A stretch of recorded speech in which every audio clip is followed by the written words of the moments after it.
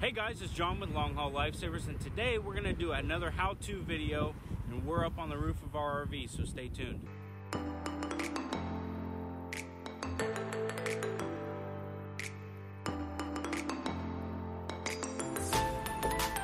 Today we have a couple issues with our lap seal, especially where the end cap meets the, the roof. It's starting to get cracked. So we're gonna scrape off that old lap seal and then put new down. And we're gonna show you a step-by-step -step process on how to do that. Few simple tools you're gonna need to do this project. You wanna make sure you have a plastic paint scraper. You don't wanna use a metal because you can cut the TPO roof on an RV. Once you get the old lap seal off with this, you're gonna go ahead and clean it clean the area where you're going to put the new lap seal down. And then what I like to do is create kind of a barrier so the lap seal doesn't run everywhere. We're going to do that with just basic caulk. Let that dry so it has a border for where you can put the lap seal in and it doesn't run over. And then you're going to put the new lap seal in between that border of caulk. So let's get started.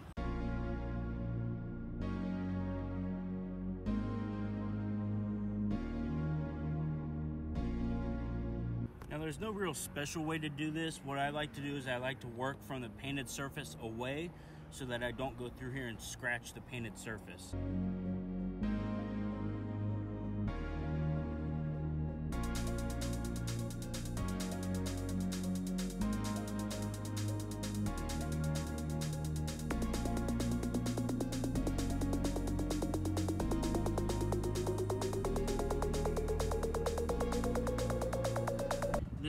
Brown color here, that's actually dirt that's just gotten embedded into the lap seal because it's supposed to be this gray color. When you're going through and scraping all this off, it doesn't have to be perfect. You just want to make sure all this dirt color is off because the new lap seal won't adhere to this. It's not sticky, whereas if you get to this side, it's sticky and tacky. So you want to make sure all this brown stuff is off. As you can see, it comes off pretty easily scrapes right off.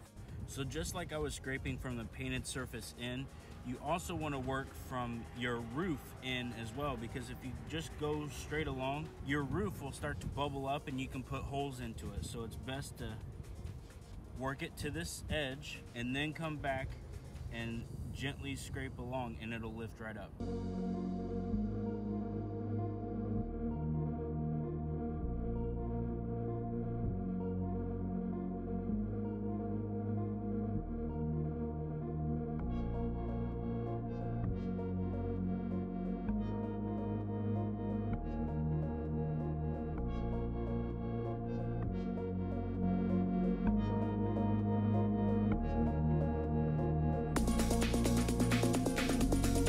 That's the pile of the old lap seal. Morgan's gonna clean this edge.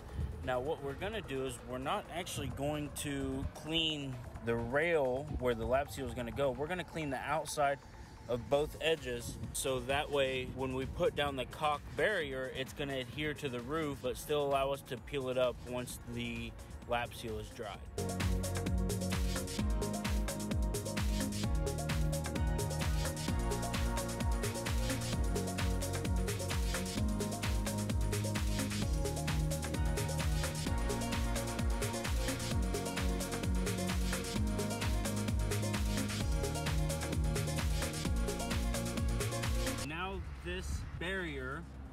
Is somewhat dry, we're gonna go ahead and put down we're using the Dicor lap sealant self-leveling and I went ahead and got tan because our roof is tan and most of our rig is tan so I don't know why they put gray on here. This is what we're using. So there is kind of a trick to using this. You want to cut this tip on an angle and then you want to make sure that this sealant definitely gets in where the roof meets the end cap. So this edge right here and then this edge right here. Go along and put a big bead of sealant right here along this edge and then come on this side and do a big sealant along this edge and then I come back and fill in the top with a liberal amount over the top of it.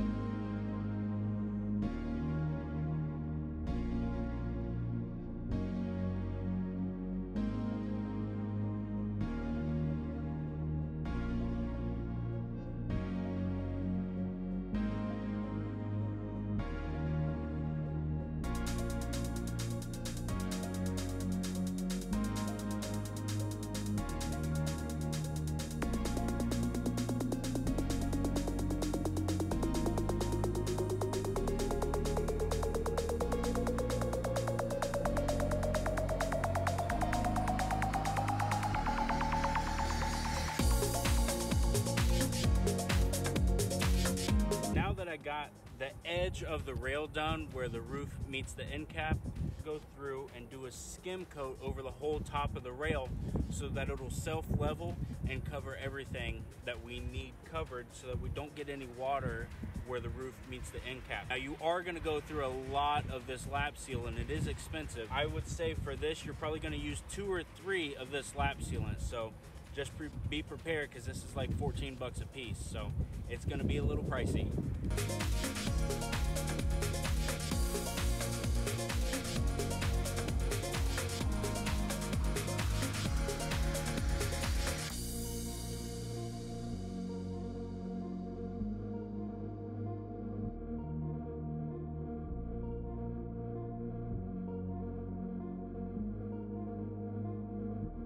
Can see that he's applying it just to the top rail there.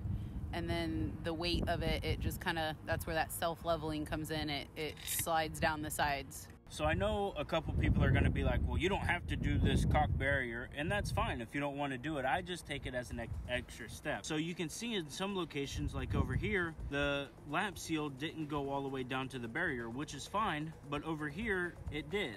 And if this barrier wasn't here, it would have just continued to run down into my roof further than what it needed to be. So Yes, it's an added step. Do you need to do it? No. But I always do. I would recommend it. I'm on the roof and I hate being on the roof.